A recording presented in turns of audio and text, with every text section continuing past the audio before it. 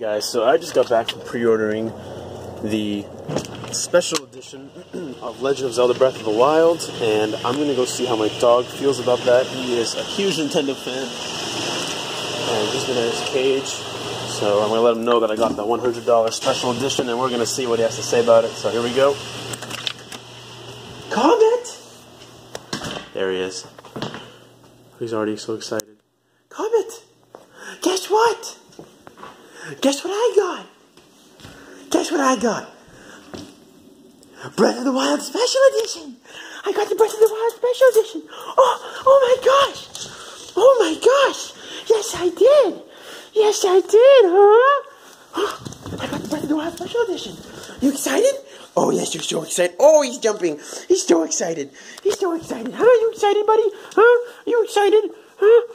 Oh, yes, he is. He is biting. Oh, no biting. Oh, come here. Come here, buddy. You excited, Ashton Kisses? You excited? Breath of the Wild. oh, yes. Oh, so sleepy. So, yeah, I got the $100 special edition, guys. And Comet's excited about it, right, buddy? He's my one-year-old um, Maltese Shih Tzu. Malshi, I guess. So, uh, yeah, thanks for watching. Leave a like. Let me know if um, you're getting any into the Nintendo Switch hype. Thanks, guys.